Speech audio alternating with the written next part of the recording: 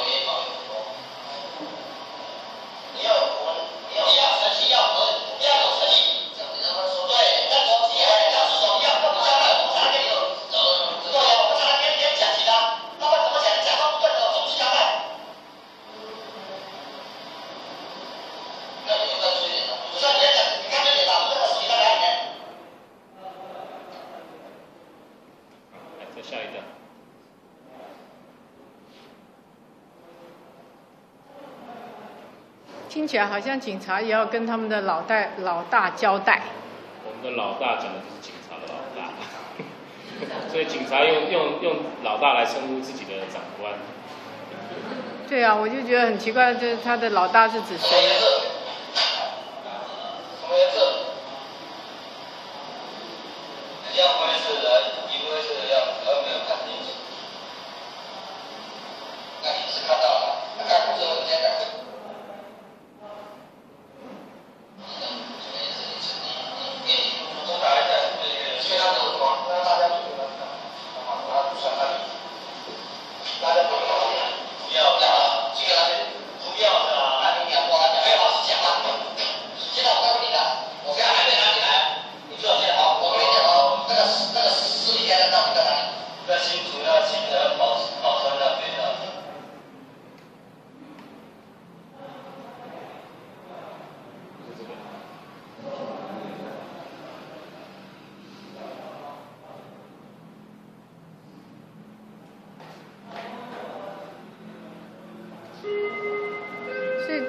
起来好像是那个警察的老大需要他们来，警察来交代出一些东西，让他们可以结案或者是怎么样。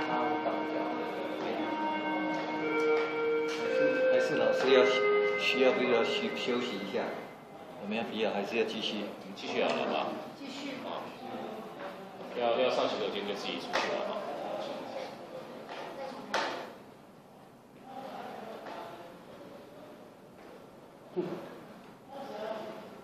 好来，请停，先按暂停，按暂停。为什么要让大家看这个录影带啊？看一下，他穿什么？内裤，很明显穿内裤。然后他手上戴什么？戴手铐。对。啊。穿内裤意味着什么？刚才吴淑珍在录影带里面告诉我们什么？电击。被电击。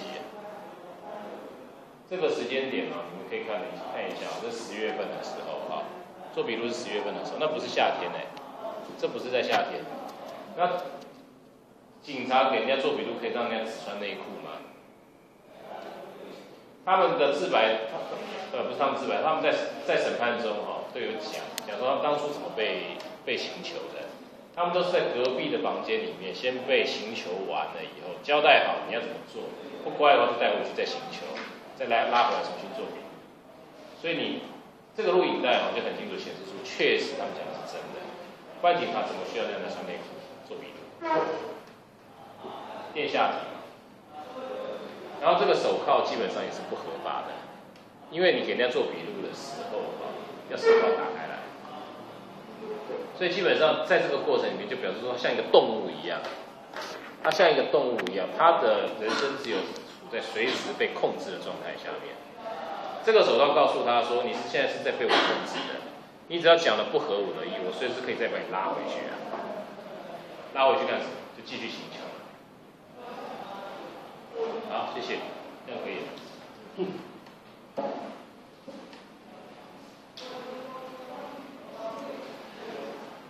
啊？哦，不用不用，先把那个电脑关掉就行。现在后面有的。这些证据怎么还会判死刑？好问题啊！就是你那个逻辑啊，就是就是刚才刚才我所讲的，有些人的逻辑是这样子哈，你被刑求不代表你是无辜的嘛。哦，所以啊，对了，你被刑求了，啊，但是我不相信你是无辜的。你如果是真的无辜的，你怎么会承认这种唯一死刑的犯罪呢？对，如果是勒索，在当时是唯一死刑。好，法官的想法啊，他的逻辑是这样，一开始逻辑是这样子。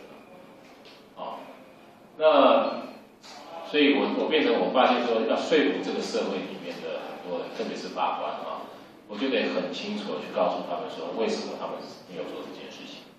啊，变成说这些被告啊，在法庭上面啊，必须要去证明自己没有做，自证无罪了。啊。那你们大家也许都听过说，好像我们所认识的法庭里面的游戏规则不是这样子的。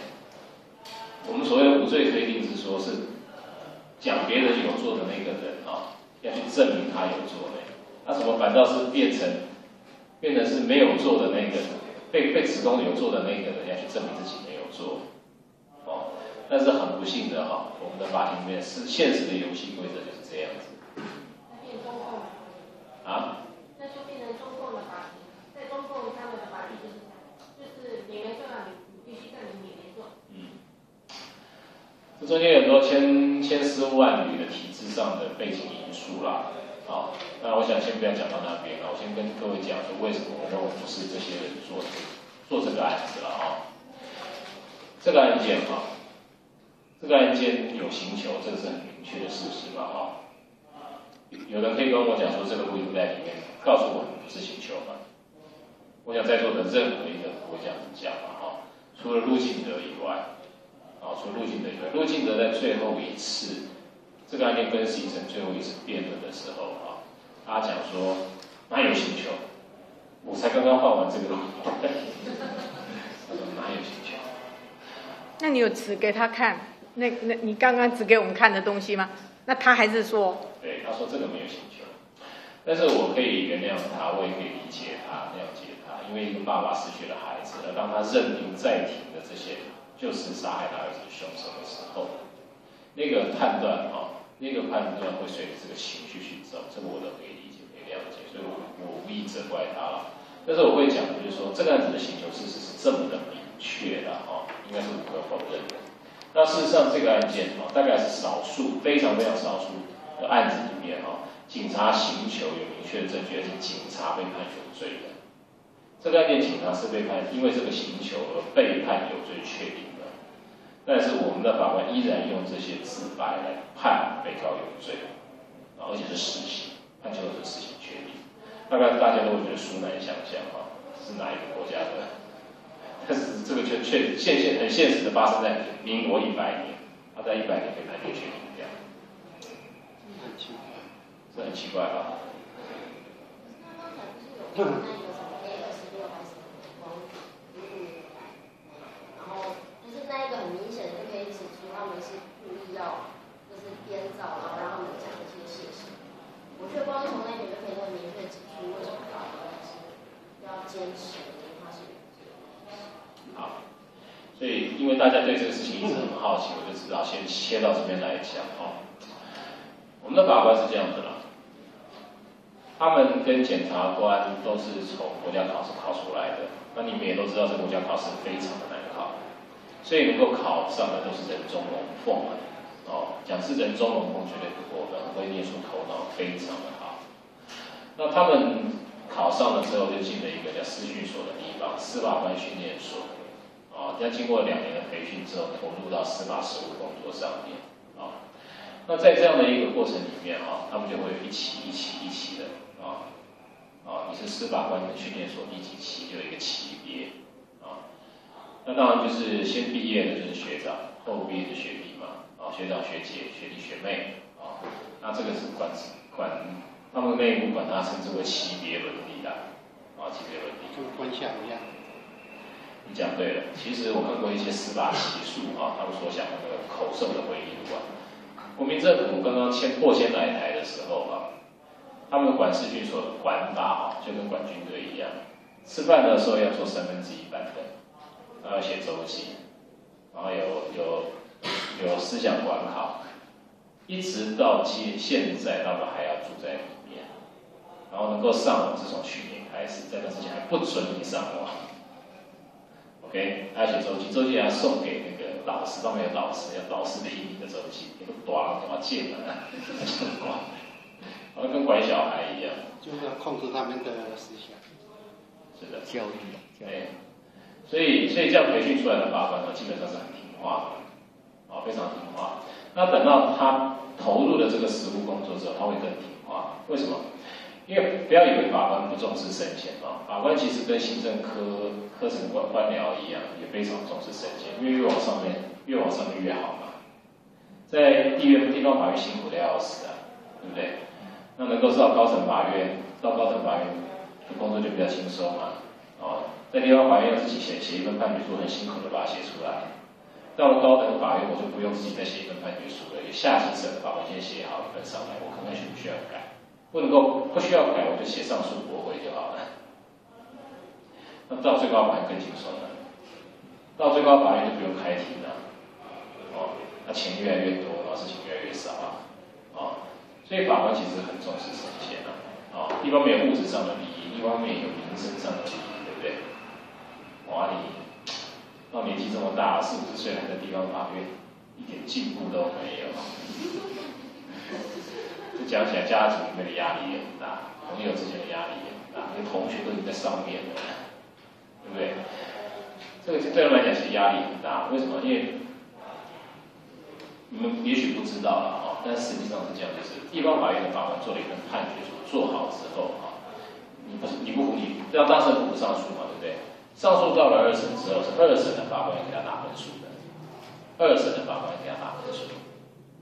然后二审的法官判了以后呢，这样是如果还不服到三审，三审的法官再给二审法官打分数。那这个分数将来是他们能不能够晋升的一个很重要的的参考依据。所以法官谨小慎微的原因就在这边了。那这个圈子里谁都不可以得罪。那你现在看，如果说我今天我还在地院，然后我的同学在打我的分数，我的学历在打我的分数，我感觉怎么样？所以他们很重视升迁，不是没有原因的。啊，那因为很重视升迁，可是自己能不能够升迁，又很大的程度上面掌握在自己的同学对自己自己的这个圈内人对自己的观感上面。那你说法官会不会很忌惮得罪人？他不怕得罪当事人，但是他怕怕得罪自己的同僚。很怕很怕得罪自己的权威。那这个心态啊，放投射到这种案件里面来，重大争议案件，特别是金九的争议案，就九年啊，孤年米田啊，数犯孤年米田这种案件里面，就会活灵活现的，啊，就会就会发作的很厉害。哦，阿温陶前面画西条的，啊，我们前面都判死刑的，那我们前面都把刑求不当一回事的，哦，一路就判下来，啊，到你后面这个后生小辈，你敢做判？判无罪啊！啊，就你比较有人权，我们学长都都没有人权，超前认命。啊，你若得到让你的学长得到这样的一种评价，对你有这样的一个影响，你前途大大不不明啊！啊，是不是这样子？当年苏安要在第一次再审判无罪的时候了，哈，有听过一个记者这样讲，他说那些记者就跑去最高法院采访，看最高法院那些法官对这个。再审判、再审判决的意见的，那果不其然，电视转播嘛，啊，所以最高法院的那些法官就在休息室里面啊，还是在记者室里面看那个转播，啊，就群情哗然，这样子也敢判？哦，因为再审判无罪的嘛，法官群情哗然，这样子也敢判？OK，所以这个就是为什么这种案件啊，这种案件在打得越久越容易判无罪的原因。我曾经在私底下跟一个法官，那法官我们一般来讲，圈内还是觉得他不错的，啊，还算是很有人权意识的、改革意识的法官，跟他聊到这个案件。他第一个反应是，那个哪有人敢判无罪？有哪一个敢判无罪？他连这个案件的的详细内容他都不知道，就这样子讲。OK，所以你你问说为什么这种案件无法翻盘？哦，我先告诉你。那你会问说？那第一次判的法官没有这个压力啊，那应该好好看啊，哦，好，那我要讲哦，这是两个原因的哦。第一个原因是你现在看到这个刑求的录音带哈，在一审判决时候都要出现。那个刑求的录音带是后来有一个结果叫王清峰去把它挖出来，那个时候已经判了，是跟还是跟在，好像跟三嘛，对不对？所以这个录音带出现之前。慢，很晚。那第二个原因啊，是这个案件社会瞩目，社会瞩目，在这种社会瞩目的案件里面啊，法官承受的压力非常。那对他来讲，他判无罪跟判有罪两者之间，他判有罪的话，压力不会那么大。他会想说判错，上面还有学长。但是他判无罪的话，他压力就大。整个社会都要求他给一个交代。所以在这种情况底下，录音带又没有，然后压力又大，啊，最大，那就这样一直下去，就结越打越紧，越打越紧，打过两审。那你说这个这个案子在一审的时候，法官看不到这案件里面的问题吗？我觉得其其实只要好好的看这个案件里面的所有的资料，甚至你不用到后面一直跟着一直新的时候资料出来，你光看侦查。侦查阶段所收集到的那些证据资料哦，就知道这个案件大有问题啊！这个就是我要跟你讲说，我个人很确信这个案件他们是无辜！你们可以有自己的判断啊，我以下讲的理由你们都可以自己判断啊。但是我个人是认为说，基于这些理由，我很相信他们是无辜的啊，不单只是因为请求而已。第一个理由啊，第一个理由。这些人背景不太可能犯这种犯罪，鲁文勒索基本上是一种高度精密的犯罪，啊，一群人要去滚勒索，然后事后要打勒索电话，不断的变换地点，然后中间联络，啊，监视被害人，那是高度精密的犯罪。这票人啊，这票人刚才讲十二个人嘛，对不对？啊，大多数都是未成年的，成年的只有几个，教育程度都非常的低。教育程度非常低，那些未成年都是国中辍生，国二的中辍生，那邱尔顺本身国中也没念完，程度都非常的低啊。你说他们真有能力吗？所以当地竹竹南跟那个新竹当地的警察都不相信他们做的。这票人啊，图可能都头发打一塞了啊，啊，脚头脚头啊，做那种暴力讨债的事情他们会啊，也是丑陋的嘛。但是这种鲁鲁人勒索的亲密犯就做不到。你们看那个最后交交交付赎款那个过程呢，那个多！把他们从新竹在中立的亚松宾馆啊，把被害人从中立亚松宾馆用纸条一路带带带带带带到高速公路上面的一百公里处的 S 九十九点九公里处的那个路桥，然后再垂一个绳下来把书包收走，啪不见了，很精密耶，非常 pro 啊，真的很 pro 啊，在这个过程里面，你要逮到都不容易啊。因为他只跟你讲下一站在哪里，到那一站啊，我们大力追踪游戏，再请往前面，再往什么地方这样子。所以第一个，你看他背景就知道不是不像，哦不像。那个时间点在民国七十六年，对，还就有这种先进的思维。啊？他们是有先进的当时的他们你讲的先进的思维是什么？神那个神秘的过程，最后是在九十九点九公里这样，对吧？那就厉害啊！对，他们那些未成年都还没有看到现在的电影。嗯，好问题啊，好问题啊。但是我我顺便跟你讲一件事情啊，那个时间点台湾的社会哈，进入解严前夕嘛哈，其实有点刚好解解解严前夕的哈。那个时间点啊，刚好社会治安还在在动荡的时候，那段时间有很多的小孩子跟大人被绑架，有几个台湾有几个非常酷的专门干文科书的绑架刑犯。其中之一叫胡关宝，啊，因为比你们上网搜寻可能会听过，那个集团就专干这种事情，那个是同一个时间，他反正他们真的很不懂，但是那个集团是星光星光的那个就给胡关宝，嗯，他们是以眷村子弟啊为基地的啊，不要眷村子弟，但都是大的，啊，这么干这种事情，干很多票之后才被逮到，OK，好，回到回到我主题来啊。这个是最外围的理由了啊，我们在中我们慢慢切。第二件事情啊，我刚才讲到那个文勒索的过程啊，他们不是用纸条吗？啊，用纸条，哎，很奇怪，那个纸条上面采集到西美指纹，信封跟纸条上面啊，就是只是说你们往什么地方走，那个信封跟纸条上面有西美指纹。你们刚才在那个录影带里面听到那个警察在锤那个邓运珍那一指，哦，什么颜色？啊，汽车的颜色了哈，啊，纸条是谁写的？纸条内容写什么？讲的就是这个纸条。那个纸条上面有七枚指纹，啊，这七枚指纹谁留的？我们不知道，有可能是真实的犯罪人留的，也有可能是被害人家属留的，啊，取出过程中不小心粘上去的，啊，也有可能是办案人员不小心留的，都有可能，啊，也有可能是印刷厂的老板留的，都有可能。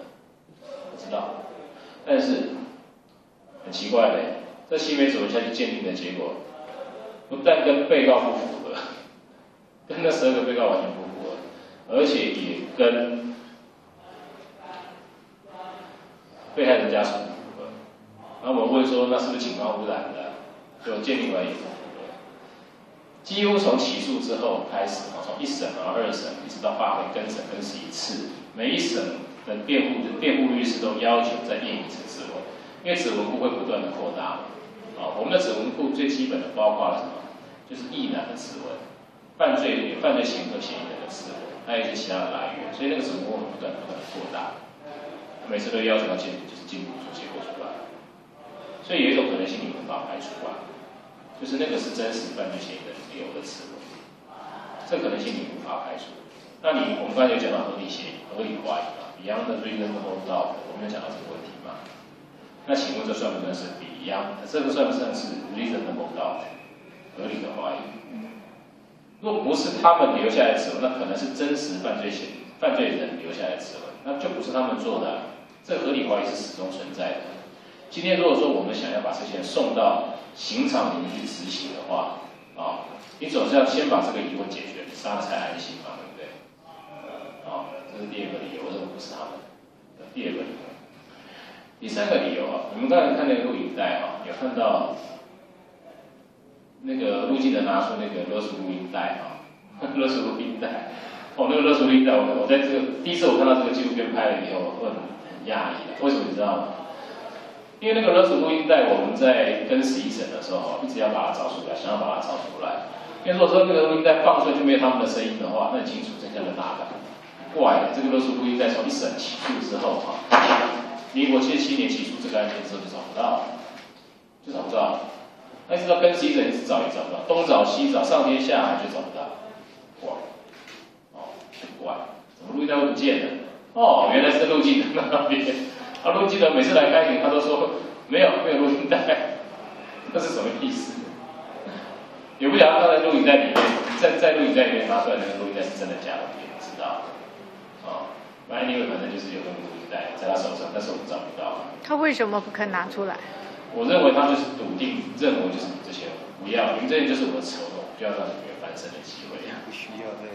因为法官不可以强迫他把录音带拿。没有没有，他在法庭上都没有这样讲。这个录影带是在判决确定之后，公共电视拍录影带的时候，他才拿出来给人家看。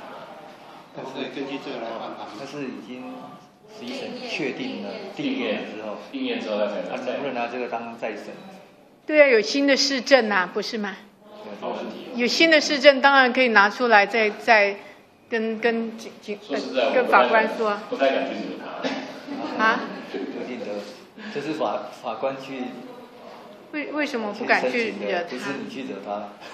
对啊，就是说现在已经有新的市政啦。好，那那个勒索录音带，我回到我刚才讲东西去了哈。那个勒索录音带哈，后来去做声纹鉴定啊哈，七卷录音带去做声纹鉴定，所以这七点录音带去做声纹鉴定的结果哈，哎，跟邱罗顺不符合，跟吴淑珍不符合，跟邓玉珍跟陈仁宏都不符合，只有一通他说跟其中一个共同被告叫于志祥的。很怪，有点怪，告诉我一件事情啊，这些被告的自白每一个都讲说我们都有打。打勒索电话啊，那他也录了那么多的勒索电话，那为什么只有一通跟于志祥然后跟其他的不符合？哦，你得先告诉我这个问题呀。那难道是于志祥跟别人做的，不是跟他们做的吗？OK，不知道。那跟于志祥那一通，他说跟于志祥我的那通电话，真的是跟于志祥符合吗？这是另外一个问题呀。就后来我们去检视那个证据资料，发现也不像。看起来也不像，为什么？因为我们先不要讲说声纹鉴定这种技术到底，先不讲这个问题了啊。当时做鉴定的那个鉴定人啊，他自己在那个手写的那个鉴定报告上面讲说，都是相似、相似、相似。那种相似到最后就相符。那声纹鉴定你会讲说这个是不是很科学啊？是一种科学技术，好吧？那是科学技术的话，应该是用仪器操作了，错误。他是用耳朵听的，他有做那个声纹声纹的那个图谱，但是做声纹里面他还要自己用耳朵听，主观性很高嘛。好了，那也没关系的。我们再讲另外一个问题啊，你们看过测谎鉴定报告，你就知道，那个测谎鉴定报告在比对的时候啊，一定是判读的时候一定是以长条、连续的，不会中断，对不对？对不起，我们在这个案件里面看到的那个声纹鉴定，它是很剪贴的，哦。那个剪贴就是左边这一张啊，一小段，他说这个是于志祥的声音；右边这一张，他说也是一小段剪下来，从一长条那个声纹里面剪下来，贴在一起对。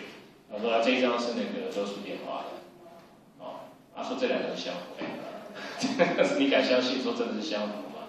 搞不好我讲你你讲的于志祥的那个声纹是，他讲 A 啊有啊，他另外一个人讲讲无啊 这样子。目前来说，真的是相反的，所以那个真实性完全无从确保，正确性完全无从确保了。那当时我们在在那个打这个官司的时候，我们一直希望说，把那个勒索录音带找出来，再鉴定一次，在法庭上再播放一次，那就找不到。那最后最后法官在判决时候完全不去处理这个问题，他完全不去处理那个声纹鉴定结果不符合的问题，他只讲说。他那个勒索录音带找不到的不利益哈，是重要证物嘛，对不对？这是重要证物，被告可以拿来有机会证明自己无重要证物不见了，这个不利益哈，不能够归由被害人负担，就这样子讲而已，不能够归由被害人负担。我笑话，不能够归由被害人负担，就就归由被告负担了，有这种事情哦。那这样子以后谁去法院做被告谁倒霉啊？游戏规则如果是这样子这样子玩的话，那政府既然是你家的事情，谁叫你活该倒霉当被告？啊，法官逻辑如果是这样的话，谁能够安全的无如果无辜被被人家指控，谁能够安全的走出法院出来？啊，勒索录音是另外一个理由。第四个理由哈，第四个理由，这个理由就更有趣了。我刚才讲说这这个案子是有刑求，这是很直接的、很明确的一件事情啊。那我现在开始讲讲说这个刑求的过程是怎么样啊，刑求的背景是怎么样的啊？你们现在听到的这个录音带啊，看到这个录音带，都是在一开始侦讯一开始的时候的刑求的啊，就是第一天刚被抓进来的时候被刑求的啊。那后面的录音带你比较听不出来有刑求啊，但是他们在侦查中全部都被收押。收押听得懂吗？就放在看守所里面。收押以外还禁见，禁见听得懂吗？禁见就是你不能够跟外界有接触。怕串供嘛，对不对？所谓的禁见就是怕串供不能够跟外界有接触，你不能够见你的家人，不跟不能够跟你的朋友同去，就是这样子。你只能够跟你的律师联络。还有电视、收音机、报纸，通通都不可以，通通不可以。所以你就每天在里面清心寡欲的对着墙壁发呆，跟你室友聊天，就只能够这样子而已。那你的室友当然不会是你同案被告了，啊，好。所以在那个四个月的过程里，他属于跟外界隔绝的状态，完全的隔绝，只剩律师可以跟他们联络。那请问他们有律师吗？没有，因为这些都是中下阶层的人，请不起律师啊，完全没有律师。不是有公社律师吗？审判中才可以有公社辩护。公社辩护人直到现在都只有在审判中才有，侦查中没有。哦。所以他们在起诉之前啊，被羁押今天四个月，完全跟外界隔绝。这种情况表示说，即使你今天被打了，也没有人知道。也没有人知道。室友，室友可能知道。室友知道有屁用啊！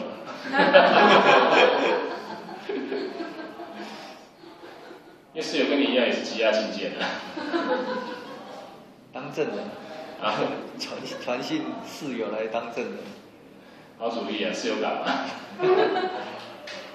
好，彼此互相支援一下，对对对。好，所以你你从你们的尝尝试判断啊，在这种情况底下啊，属于这些人完全属于警察的实力支配之下，警察今天要把你提出来就提出来，几乎每天都被借题。所以才有办法在四个月里面做了两百八十八个的记录。那在这种情况底下，警察在第一天请求你之后，在后面不会请求你了？你们的尝试自己判断看看。你如果后面讲的跟前面不一样的话，你有反控的话，会不会再打？所以刚才你们在录音那边看到了两个事情大得意的要命。啊，再可以来这个翻银行的翻工，再可以来这银行的翻工，啊，这个这个啊，那比这单事情大还正的。哦，而且他事情在行时候在，那个好像是行车记录器怎么会啊？不小心拍下来啊？那就扣谁？他怎么所以移到这个案子？所以你这个案件里面，就可以看得出来，你就可以看得出来，就是说你要跟我讲说前面有刑求，后面没有刑求，那完全不符合这个案件里面所呈现出来的情证据所呈现出来的情况，也不符合我们的常识。也不符合我们的常识，但是法官的逻辑就是，好了，我把前面的那个砍掉了，那后面那些哈，你没办法证明你被刑求，我就要用，证明被刑求的这个被告，变成是这样子，那叫放射性的，放射效力的啊，啊，那这样子哈，你会想说，哇，那个刚刚刚有刑求哈，每天都有可能被刑求的话，这样子有可能调皮吗？啊，我讲的调皮是什么意思？啊，就是你们刚才看到的录音那边讲吊我们、耍我们，哦，警察不是这样威胁那个邓明正嘛？要是敢钓我们、耍我们，要小心一点。那个录音带里面，你可以看得出来警察打他嘛？所以看到警察打他之外，你也看到警察在骗他。以他当时的情况来讲，根本不可能做成自首的笔录啊！就警察骗他说我要给你做自首。你不可以钓我耍我诈欺的，啊，好像是在讲了哦，跟星球比起来，诈欺根本不算什么。好，但是我要讲的是说哈，如果你每天都有可能被打的话，你敢不敢调皮呀？我看很难吧。那如果是这样的话，那个真的有是他们做的，那个尸体在哪里？应该早就找出来了。啊，对不起，这样到现在为止都找不到陆贞的尸体。丢到海里冲走了。所以严格讲起来啊，所以严格讲起来，陆贞到底死了没有？这个人知道，真的是这样子的。那我们在审判中啊，有曾经把他们在自白里面啊，曾经讲过的弃尸地点啊，放在那个投影片上，用地图做投影片，然后就一朵花一朵花的开，哦，在宝山，他们第一次讲说在宝山啊，宝山这边开一朵花，啊，在青草湖开一朵花，啊，在在头前期开一朵花，啊，我们发现那个开花的结果就是遍地开花，在新竹跟苗栗遍地开花。讲的地点真是多，十几个地点嘛，对不对？啊啊，你这边有的啊，我时间不太够，算了，不要报。那真是遍地开花啊！像他被这样子高强度的侦讯，那又经常可能被刑求，啊，讲的不对就刑求，那这样才有可能找不到尸体嘛。所以到最后啊，被打到受不了了，因为实在是不知道地点在哪里嘛，只好讲丢到海里面去了，而且还有馒头夹死。在看守所里面传给那个公安被告勾出来一下，说拜托你把他赶快了，这位公开逼呢，哦，讲丢到海里面，你想会继续被打。他们曾经讲说丢到青草湖啊，啊，埋在宝山碉堡。他们讲说埋到丢到青草湖那一次，哦，警方就真的把青草湖的湖水排干了。哦，那多大的工程啊？我再去找，找不到。那找不到，你可想而知，这么大的阵仗找不到尸体回去以后，他会受到什么待遇？哦，找不到尸体就刚好告诉我们一件事情，这个不是他们做的。啊，警察在那里面为了找尸体的事情不断的打他们，你们可以听得出来吗？啊，甚至跟他讲说，带我们去把尸体找出来，我一百万给你。那最后再讲哦，这我讲这个是最坚强的一点了，啊，也不在场证明。也不在场证明。那个孩子是在新竹市的联美北大路一个联，那时候有个联美补习班嘛。你们刚才看那个录影带，也看到那个联美补习班的旧招牌。他是在晚上六点钟下课，晚上六点钟下课。那下课以后哈，六点十分到六点十五分之间不见。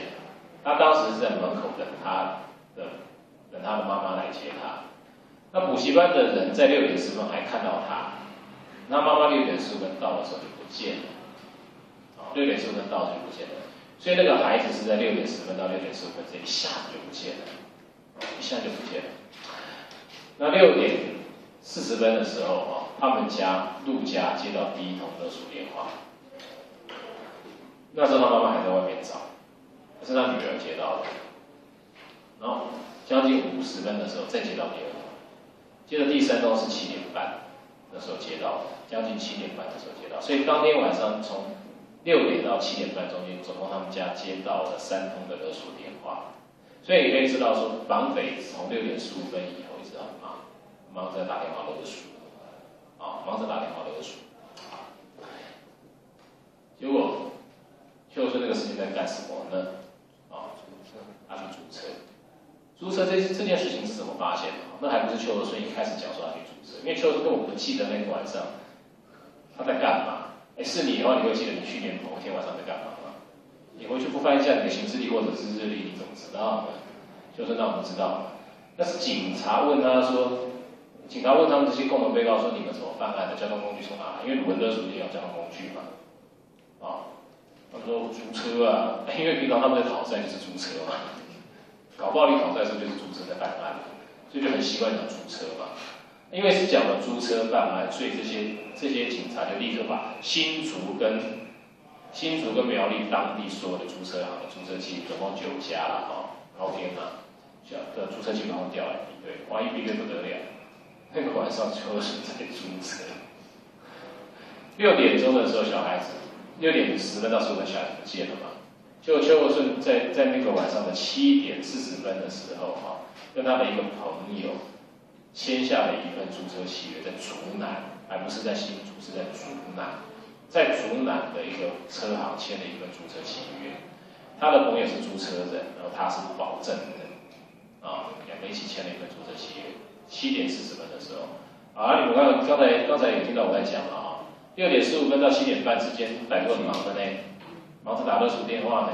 而且七点四十分的时候，邱友顺在阻拦租车啊。那请问，邱邱友顺之前有空去参与这个犯罪吗？这是第一个问题啊。那第二个问题是，他车子是七点四十分才租到的，那请问之前他有没有车子可以办案？先用摩托车。哦，先用摩托车。所以，所以这些这些共同被告都每个都骑摩托车去办案，被车打。但至少人家司法没有这样讲。那第四，心情不够厉害。那那第三个问题法官怎么样是哈，第三个问题是，啊，如果之前就已经有车，那干嘛后面还在租车？对不对？一堆的问题。换车，啊，换车这个。啊，换车临时再去租哦。那会不会步步一阵？啊？如果是真的要步步一阵的话啊，如果是真的要步步一阵的话，一开始被征询的时候就要拿出来讲，对不对？为什么不知道拿出来？要等到你警察去查了，我才拿出来用，对不对？邱生一开始根本不知道这个事情。是他多久以后才才那个？啊？是多久以后才才才才问他说你什么？你是说他忘记嘛？一年。一年以后啊？因为七，他们是哎，陆政是七十六年十二月二十一号不见的嘛，啊，那这个案子后来被被警方宣布破案是到隔年嘛，隔年的十月嘛，九月十月的时候才开始带去去侦讯嘛，所以中间隔了非常久的时间。那所以邱老师一开始我就不记得这个事情，他们是说没有人记得这个事情。竹竹南到那个。他常在租车啊。常常要讨债啊。对啊，他就靠暴力为生，靠暴力讨债为生啊。所以我我我我我我也不隐瞒，他长得不可爱啊，他的确不是一个可爱的被告。但是我要讲的是说哈，对于一个不可爱的被告，如果说法律所要求的无罪推定原则，那个公平审判的精神也能够贯彻的话，我们才是安全的。否则的话，法律在决定说什么人享有法律上所所所应该给他的保护，带着有色眼镜在看的话，那我们就危险，因为没有人能够保证说，在法官的眼中你是好人，然后可以享有法律给的无罪推定。那否则的话，你要自证所以，没有人可以这样子保证的，我也不敢的。其实法院还蛮讨厌我的，对不对？那你们你们之中有谁敢确确信说自己进了法院啊，在法官面前看起来像好人，对不对？啊，你们可能都没有问题了，要是我最有疑虑啊。好，这是开玩笑的了哈。